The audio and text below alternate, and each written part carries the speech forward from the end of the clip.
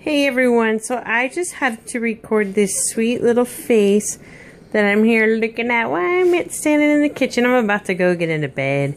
But he's wearing these little pants from Charlie Bubble 93. He looks so sweet. Look at his little feetsies. He's so cute. But I'm just here just cuddling with him. Oh, I think he's getting tired. He's put his feet hand in his face. Move your hand. But he's just so sweet. Um, I just brushed his hair. His hair is very nice.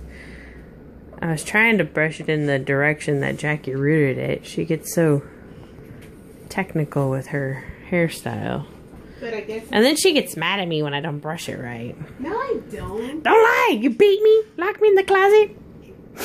What is there with you and locking things in the closet? Well, it's just a fantasy of mine. Whoa. I am out. Just kidding. but here's my little baby Drew. I was just talking to Jackie and I was like, I think I need a twin for Drew. A Yes, little finally. baby girl. Yeah. No, at first you said a boy. I was like, a boy. First I said a boy because Drew would like a brother, but his mom's selfish. His other mother's selfish. So, um, I was thinking about it. I'm like, huh, because my birthday's on Thursday. Maybe she could buy me the kit to make me a twin. Oh, Are you so serious? cute. I don't know. Yeah, I, I'm, I'm 90, I'm 90% serious on this one. I just, I'm so in love with him. He's so sweet. And I was like, I mean, it would be so cute to have Down syndrome twins, I think.